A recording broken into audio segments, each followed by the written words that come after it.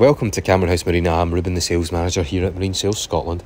And this is a 2006 Jeanneau Merry Fisher 925, powered by a Volvo Penta D4 on shaft. A prime piece of maritime real estate, she boasts a flybridge on what is only a 9.2 metre platform. Previously owned by a well respected owner of a national haulage firm, he spared no expense in maintaining what to him was described as an extension of his family. A capable offshore motor cruiser with accommodation for five, she has excellent seafaring capability, being rated offshore category B. Rigorously prepared, she's undergone full Marine Sales Scotland works, which include a new and complete anti-fouling of the hull, propeller and shaft clean and polished, coupled with brand new underwater anodes.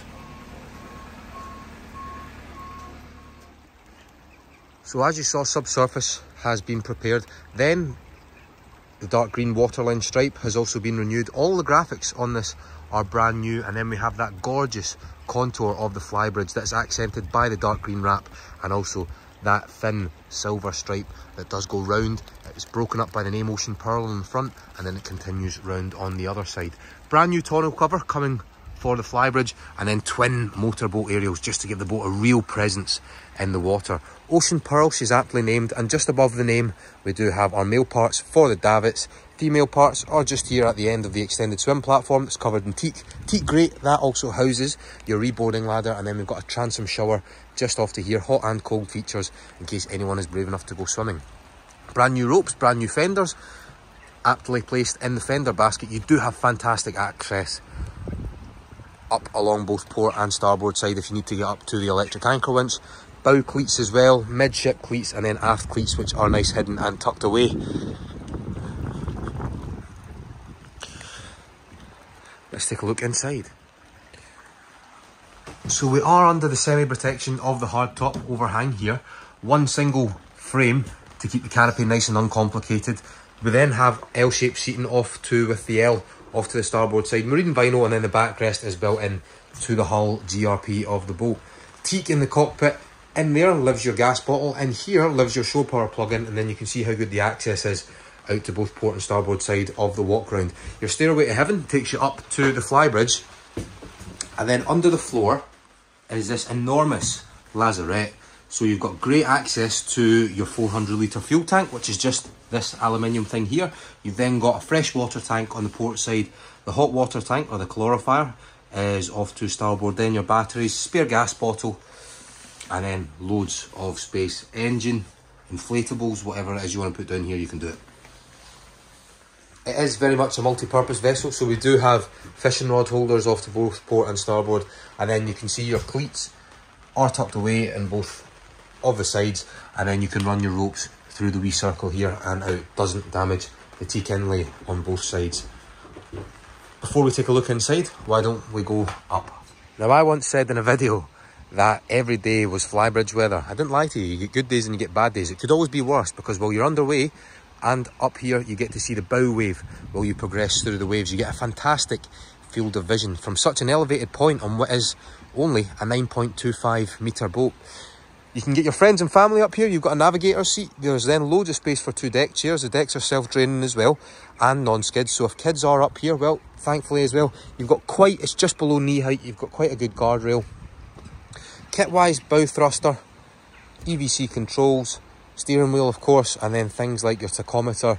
That'll give you as well any warning lights in case the engine management system is trying to tell you something. Let's get out the rain and we'll move on inside. Now Jeanneau do it really, really well. Maximal light penetration in here thanks to the big extended hull side windows. You can see how they've been sloped down to allow natural light to come in. Very functional with this U-shape saloon off to the port side. You can drop the table down. You can also flip the seat forward. It's on a hinge to form a navigator seat just next to the helm. This is much more functional, although slightly smaller than the Beneteau Antares 9.8. You get a lot more space around this table here because it's deeper. And also in the Beneteau, you've got the galley here and this is dead space. Not on this. A fantastic setup. I much prefer it. So we've got our hot and cold stainless steel. Very clean sink. A very clean fridge with a freezer compartment. I'm sure you get the trend. Storage underneath the sink. Another storage locker there as well. Microwave oven. And then what i do find quite nifty is if we remove this not only does that give us access to our twin gas burners Now we've got a serving tray so we can bring people food and drink. Fantastic. Now all that, as I mentioned, is opposite the U-shaped saloon. We can drop the table down. That gives us space for another two people to sleep here. You've got curtains, blinds that will black out the light and that is effectively bedroom number three. Now just behind that we then have a Webasto heating system control, the creme de la creme, the Rolls Royce of heating systems.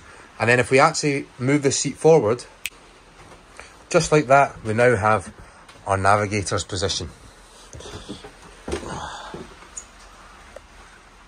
So you can ride with your family, your family can sit up while you are underway if you decide not to drive from the flybridge. Helm position, single helm, it is on a rotation and a swivel. Electronic EVC controls. And then we've got our bow thruster just here. Things like our water pump, bilge pump, stereo system here, wipers, horn, and then the main centre focus is this Raymarine C80 plotter. We've also, as you can see there, got a transducer for depth. EVC control panel just above, and then a Raymarine VHF. And look how beautifully the engine just starts up. First time, here we go.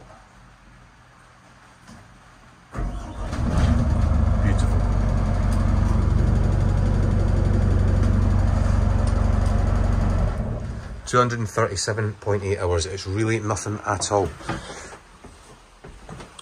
Get this back. Let's move on with the rest of the boat. Wonderful. Forward is the master cabin. Starboard is the VIP or the guest cabin. And then port side is the heads compartment. Polished stainless steel sink. Then what you've got is your tap faucet will pull out, clip into there to form a shower. Pump flush toilet with a waste tank, your indicator is also here, and there is full standing headroom for someone six foot four or under within this area. Shelves recess at the back, and then storage lockers underneath the sink, just like so. And then another locker here as well and another one there. Hot water comes directly from the engines or also the calorifier on board if you are plugged into shore power.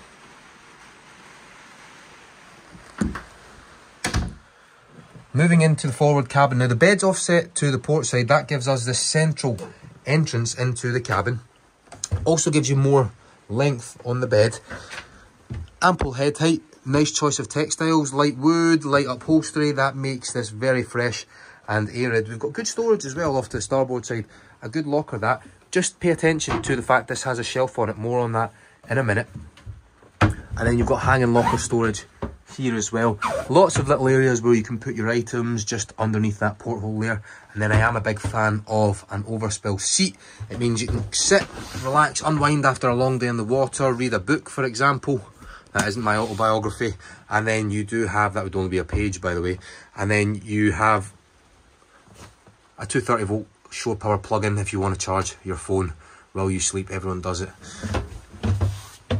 That is definitely a double and it is a very nice cabin, cleaned to perfection for whoever the new owner may be. Right, let's look at the guest cabin. Okay, so here it is. Now it's a single berth. And remember how I said on the starboard side there was a shelf in that storage locker? Well, that means that your guests can put their feet up sort of into the cabin area but they've recessed it, they've put a well and they built it into the bulkhead. So that's smart because otherwise this would just be dead space. You also then, if you want it, have this shelf. You can use it as a desk as well. Porthole there in case you want to sit down, get some ventilation if you've got any work to do. It's a fantastic place to do it. Heating vent in here as well, so it is usable in all seasons.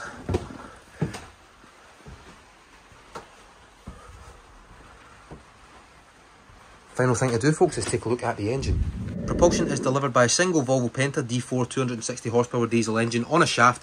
D4 is one of our favourite engines, very reliable, very very simple, not complicated at all. There we go, I'm Ruben aboard a Jeanneau Merry Fisher 925 from Marine Sales Scotland, where fun in the water begins.